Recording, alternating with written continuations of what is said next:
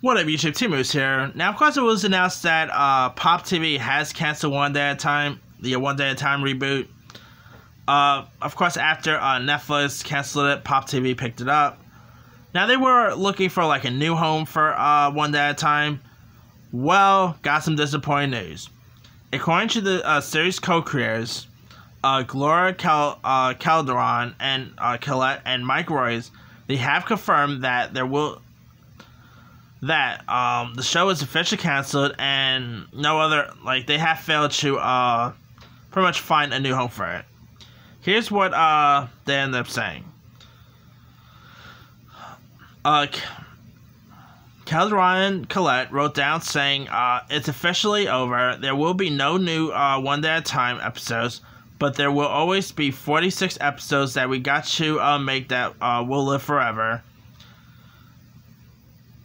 Uh, she also wrote down saying, "Thank you for this beautiful cast, our dedicated uh, crew, and ch- uh, to you all, our loyal fans. We love making this uh, for you. Thank you for watching." Now, of course, uh, if you guys don't know, it was a uh, One Day at a Time is a reboot of a, a normal uh, 1975 sitcom of the same name. You know, this starred the light. This starred you know the likes of Rita Moreno. You know, you had uh, Justina Machado was in this. Uh, Isabel uh, Go- uh, Gomez. Uh, the one who played uh, Schneider was pretty uh, funny in this. I thought he was such a scene stealer.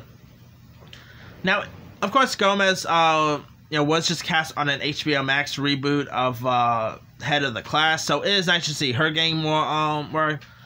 I believe Rita Moreno is still supposed to be in the upcoming reboot of West Side Story, so at least she has that coming. It is nice that the cast are getting more stuff uh, outside of the series now. But it's still a shame that the show came to an end because I thought it was pretty funny. I mean, three seasons, I guess that's not bad. Uh, most shows just don't, you know, Netflix just canceled Hoops, so most shows don't even last for one season. So three seasons, I guess, isn't so bad.